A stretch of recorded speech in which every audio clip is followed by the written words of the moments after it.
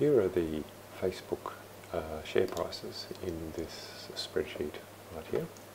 Uh, so these are the prices, like $102.22 on the 4th of January 2016. So these dates are being displayed in the American fashion actually. So, so that's like January the 4th, January the 5th, January the 6th and so on. And these are the prices in dollars, $102.22 and so on, day by day. Uh, what we want to do is to create a time series plot of these prices right here through 2016.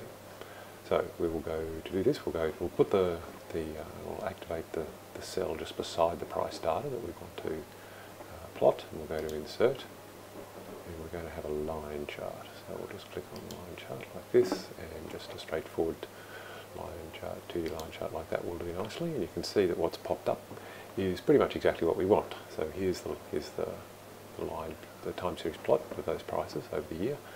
Uh, it's identified automatically that the price is a reasonable title. It's drawn that from there, and then the dates have gone along the x-axis. All of those things don't need to be set up. We can just do a little bit of uh, customization of the graph. So I've just right-clicked on there, and I'm going to move it to a new sheet. Again, you don't need to do this, but um, It's better.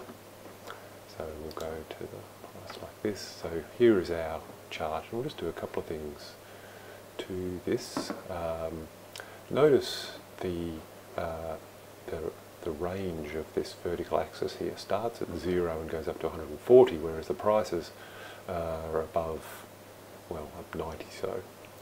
Uh, so in some circumstances, and this, is, and this is one of them, it, it's kind of reasonable to change this um, axis just to give a better picture of the fluctuations of the the time series. It's not always the right thing to do, but in this case it's okay. Uh, depends on the context. So uh, I've selected, so I've, just to be clear, I've clicked the axis, oops, do it again, click the axis and now right click the axis.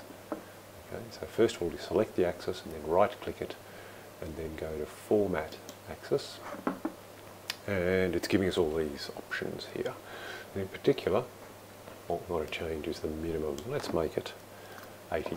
Okay, so we're just going to display the results between 80 and up to 140 seems reasonable. Um, so I'll just press enter on that and that gives us a, a, plot that I think we'd be happy with.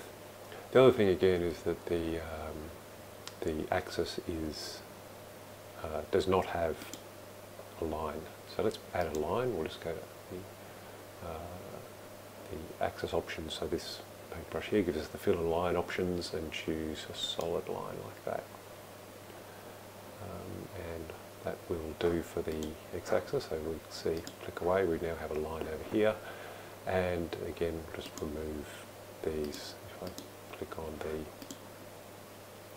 the, uh, the, the grid line, okay, so I've clicked on the grid line options there. See how they've been selected, the dots there. Uh, and we don't want any so we could delete or go no line and then we've lost those.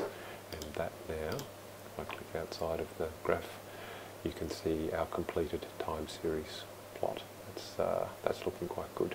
So we have the, oh we should probably change the title, shouldn't we, to be a little bit more informative than simply price.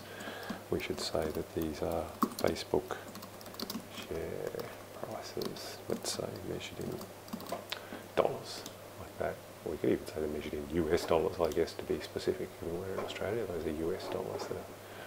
Put that in there as well if you like. And there is our completed time series plot.